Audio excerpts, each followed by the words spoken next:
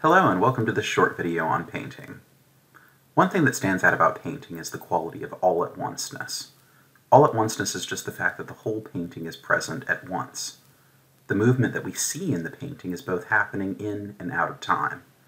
This conflict between the whole being present and the sense of movement allows us to deeply contemplate and participate with the work. Take some time to pause and look at the paintings mentioned in this video. Try to sense the movement in the painting and think about how the movement is captured in the stillness of the whole. Let's briefly review the various types of painting. First we have tempera, or pigment bound with egg yolk, which produces images that are somewhat flat but also intricately detailed.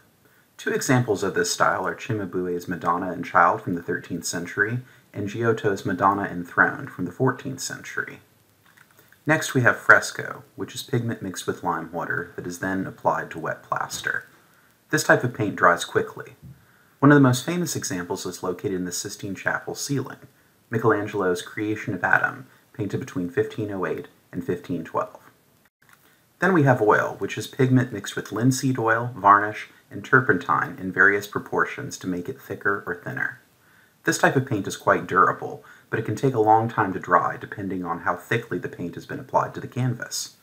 As an example of oil painting, let me show you Parmigianino's Madonna with the Long Neck, painted in 1535. Watercolor is pigment mixed with a water-soluble adhesive. The paint is translucent and dries quickly. Watercolorists often use broad strokes in their paintings, but a high level of detail can also be achieved.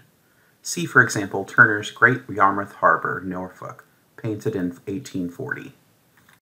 Acrylic is a plastic resin that dries quickly and looks similar to oil paint.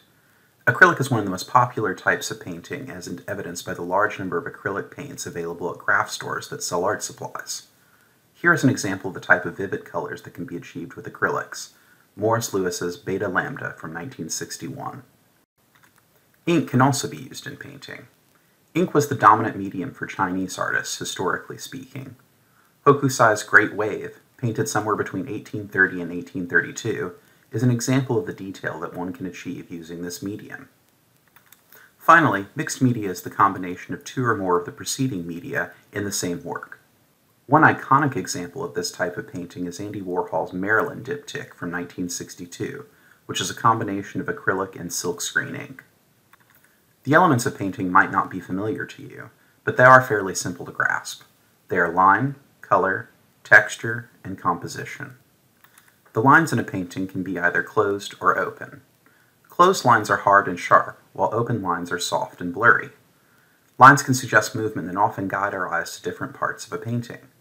Pay attention to how your eyes move over the surface of a painting, and see how the lines contribute to that movement. An example of closed lines might be Lichtenstein's Hopeless from 1963, and an example of open lines might be Renoir's Bather Arranging Her Hair from 1893. Color can be divided into several aspects hue, saturation, and value. The hue is just the name of the color applied to the canvas. There are 12 main hues. The primary colors of red, blue, and yellow, the secondary colors of green, orange, and purple, and the tertiary colors, which are combinations of one primary color and one secondary color.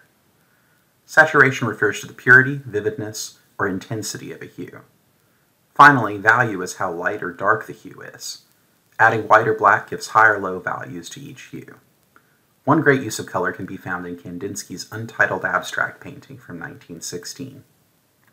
Texture can be either rough or smooth depending on the medium used. Texture can radically alter the effect of a painting. Imagine how different Van Gogh's Starry Night would be if it were smooth and flat rather than rough and raised. Last but not least, we have composition, which can be described in several ways. Balance is the equilibrium of opposing visual forces, symmetry or asymmetry. Gradation is the continuum of changes between details and regions of a painting. Movement or rhythm is how our vision is regulated by the painting.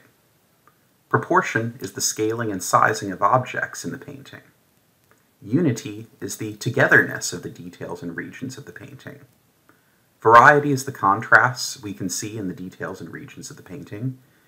Space and shapes refer to if the painting's objects are crowded or open.